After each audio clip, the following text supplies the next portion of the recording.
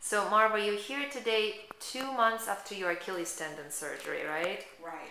So, tell me, um, well, tell everybody. I remember what you had, but I, I really want you to tell us the story of how bad was the pain before the surgery. Uh, you know, how long have you had it before the surgery? And, uh, you know, what actually, you know, what was the conservative treatment Okay. that we've tried?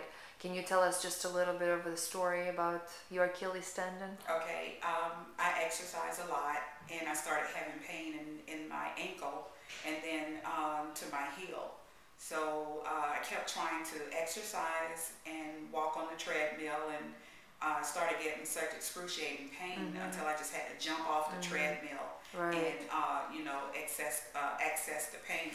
Um, it took about two and a half years before I decided to go ahead on and say I gotta have the surgery. Mhm. Uh, the pain was so great, and then um, the surgery I had uh, December first, and now it's two months later. It's very successful. Um, you have to have a made-up mind too that you want to do better Right. and want it to heal fast. That's how I'm healing fast now. I'm wearing shoes today.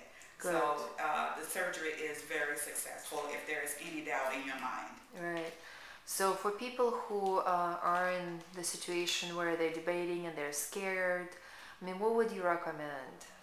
Um, if you're having second thoughts about having the surgery, I'm quite sure the pain would tell you differently. You know, you need to have it done, but you don't want it to completely detach. Mhm. Um, mine was still hanging, hanging in there for a little bit, Mm-hmm. Right. uh, not and it was very painful uh, with it not being, you know, uh, completely severed from the bone. Right. Um, the surgery, you need to have it, and I would suggest that you have it as soon as you can. Right. Well, remember I told you that once it detaches, we usually have to use grafts, Right, right. which makes it so much more complicated, and also the recuperation time is so much longer. right, right. You know, so you're very lucky, and you did great. yes. You were probably in the top 10% how fast you healed, though. You know Right. that, right? So- yes.